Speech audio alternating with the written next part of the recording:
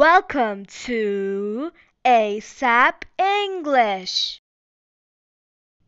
Heuristic H E U R I S T I C.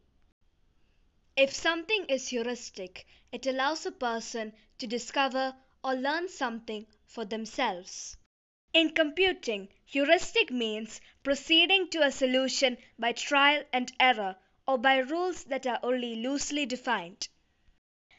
As a noun, heuristic means the study and use of heuristic techniques. Heuristic also means a heuristic process or method.